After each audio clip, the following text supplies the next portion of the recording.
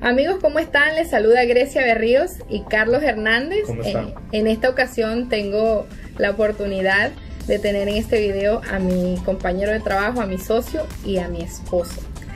Eso queremos compartirles el día de hoy, ya que Carlos y yo hemos formado un equipo, trabajamos juntos y últimamente hemos venido también trabajando en todo el tema de, de pareja, ¿no? Los retos que conlleva Trabajar. formar un equipo eh, trabajar juntos y a la vez ser esposos. De verdad que es un, es un aprendizaje muy bonito porque es un aprendizaje del día al día. Como por ejemplo estamos a unas horas para regresar a la casa eh, y de verdad estamos un poco cargados de trabajo, pero cómo analizarnos que al llegar, que entrar a la casa, eh, prácticamente dejamos eh, el rol de trabajador a un lado y nos convertimos en esposos porque pareciera estamos juntos todo el día. Y de verdad en qué momento Grecia puede sentir que yo le estoy tratando como esposo o, estamos tratando como socios. Así que de verdad ha sido un reto muy muy bonito. Y, y que poco a poco creo que nos ha ido dando eh, la misma práctica, nos está volviendo expertos porque nos llegamos a la casa y definitivamente hacemos como ese acuerdo, ¿sabes qué? Es momento de convertirnos en esposos, o tenemos como ese, esa doble, doble capa. Sí, y eso ha sido muy interesante ya que en las reuniones que tenemos de equipo o cuando estamos eh, armando nuestras listas de tareas y en esos momentos cuando a veces hay tensión de que algo no está saliendo como lo hemos planeado o tenemos que solucionar algo que salió a última hora, es cuando de pronto se podría cruzar la línea y decir, bueno, si me habló en un tono no muy apropiado o está calorada la situación, ya el tema ya se pasó de ser un tema de trabajo a ser un tema personal y aquí ya entró a afectar el matrimonio, ¿no? Y entonces esa parte creo que ha sido la que hemos ido trabajando a prueba y error, porque sí, nos hemos equivocado varias veces. Eh, tuvimos la oportunidad y la bendición de antes de iniciar a trabajar juntos, algunas parejas no, nos prepararon y, y, Carlos y yo siempre nos hemos llevado muy bien, entonces era como, mmm, yo no creo que eso suceda en nosotros. Pero no tardó mucho eh, especialmente el primer año que trabajamos juntos, creo que fue el más retante, no sé si yeah, estás de acuerdo sí, conmigo. Estoy de acuerdo contigo. Eh, y no es que, que, ya superamos todo, seguimos aprendiendo y seguimos viendo que esto funciona, esto no funciona. Digamos que lo que últimamente hemos trabajado más ha sido eso que Carlos mencionó, el dividir. Eh, o el desconectarnos, ¿no? De que, ok, ahora es tiempo de familia, eh, no vamos a, a traer los temas de trabajo, aunque de verdad que a veces es inevitable, los queremos tanto a ustedes que están en todas nuestras conversaciones.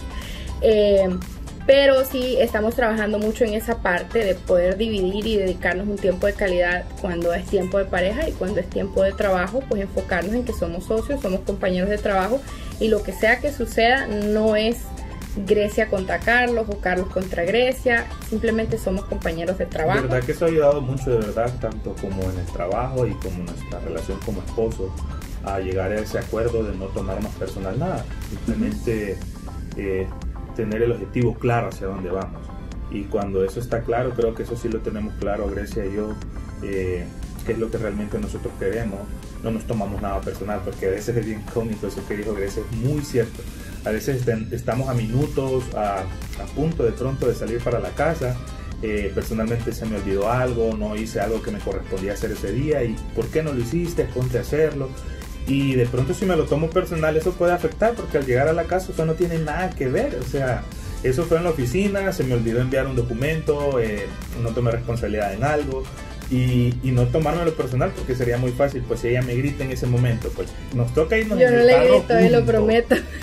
Bueno, no, no gritarme, pero yo digo, o sea, me llama la atención, ¿sabes qué? No hiciste eso y, y de pronto, si yo me lo tomo personal, pues vamos a ir en el carro manejando.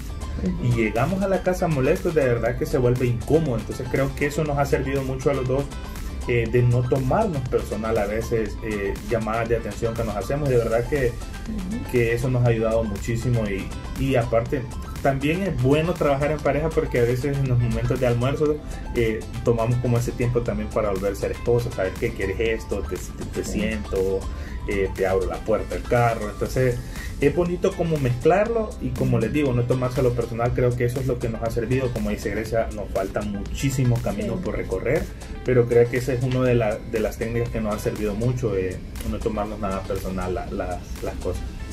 Sí, yo tengo muy presente una oportunidad, creo, creo que fue el, primer, durante el primer año que empezamos a trabajar juntos y se dio una situación en la oficina, algo y la tensión estaba, pues los ánimos estaban muy elevados y fuimos a mostrar casas en la tarde y pues todo el mundo cayó, o sea, ninguno de los dos hablábamos, ¿no? Y eh, faltaba tiempo para que llegaran nuestros clientes y estamos ahí en el driveway esperando, en el driveway de la casa y, es ahí cuando tuvimos una conversación y eh, cómo vamos a manejar esto, cómo vamos a separar el tema personal, porque si se dio algo en la oficina no podemos llevar esto con nuestra familia, si vamos a trabajar juntos, eh, la idea es disfrutarlo, ¿no? No, no estar con esa hostilidad.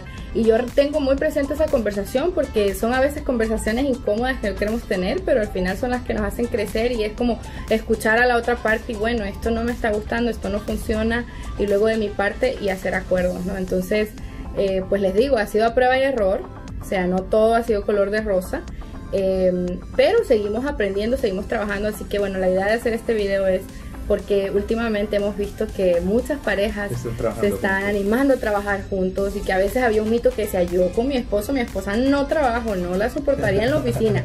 Y ahora estamos viendo que eso se está dando mucho más y es muy bello, qué mejor que poder tener al mejor ah, compañero para trabajar juntos. Así que por eso nos animamos a hacerlo. Si ustedes están iniciando o están considerando trabajar en pareja, anímense, eh, van a aprender muchísimo, van a, hacer, van a tener experiencias únicas eh, y qué más hermoso que poder compartir una visión de vida, sus metas eh, con la persona que más aman. Así de que, eso en algún punto yo creo que fortalece también la, relación, porque aprendes a conocer un poco más a tu pareja.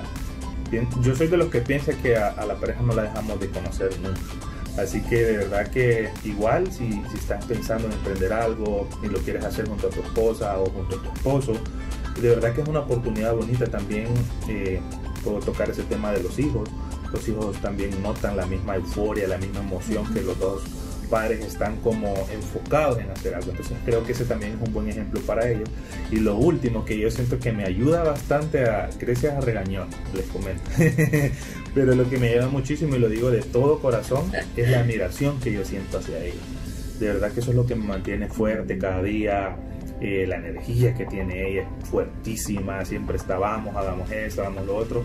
Entonces creo que eso también, aparte de no tomarnos las cosas personal, eh, la admiración con la pareja de verdad que te sirve muchísimo. A mí personalmente me sirve eh, y cuando a veces hay llamadas de atención no me molestan porque sé que tengo que tomar responsabilidad en eso. Pero la sigo admirando, no importa que me jale las orejas, la sigo admirando. Entonces esas son como eh, cosas que nos han llevado a superar y ir mejorando día con día y por lo que nos falta por recorrer. Así que si estás planeando hacer un negocio, una empresa, trabajar con tu esposa, te deseamos todo lo mejor eh, de verdad que esto es un éxito total y sobre todo eh, que vives con ella esa misión, eh, la compartes y es muy bonito, de verdad que personalmente como hombre te lo digo que, que me gusta mucho trabajar con ella, aprendo de ella todos los días, que es lo que te, te menciono y pues la admiro muchísimo, sobre todo pues la amo.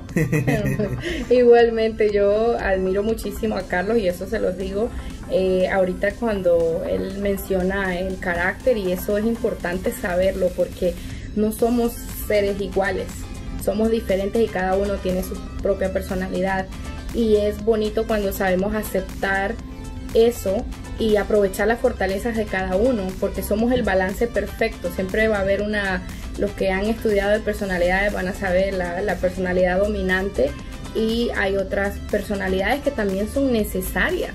En el caso de Carlos y yo somos caracteres totalmente diferentes, pero somos el balance, porque cuando necesitamos em, que Carlos apacigüe las cosas, la paciencia, la creatividad, todo lo que él tiene, definitivamente son cosas que de pronto a mí me falta o yo tengo que seguir trabajando, que yo admiro de él y digo, wow, o sea, definitivamente Em, tengo al partner perfecto, porque si los dos tuviéramos la misma personalidad, creo que las cosas no andarían. Imagínense dos Grecias, no, y, tampoco dos Carlos, porque somos el balance perfecto. Entonces, aceptar al otro eh, cuando hay cosas como que cruzamos la línea, eh, obviamente hablarlo. Eh, yo sé que Carlos lo, lo, menciona ahorita de, de, broma eso, pero obviamente no cruzar la línea del respeto, aunque seamos esposos, obviamente debemos respetarnos. Y lo que dijo él es crucial, admirarnos, admirarnos y mi admiración es, es mutua, o sea, yo admiro muchísimo a Carlos y y de hecho hoy hablaba con una colega y le decía, wow, definitivamente Carlos me sorprende porque hay cosas en las que él lo hace mejor que yo y aunque yo digamos que le lleva un poquito de ventaja en más años en la industria, pero hay cosas que él ha llegado y ha innovado y creo que todo líder tenemos que estar abiertos a eso, que llegue alguien con nuevas ideas y permitir que esa persona lo aporte, porque eso puede ser un cambio para bien. Y eso es lo que ha surgido desde que Carlos eh, llegó a trabajar conmigo. Así.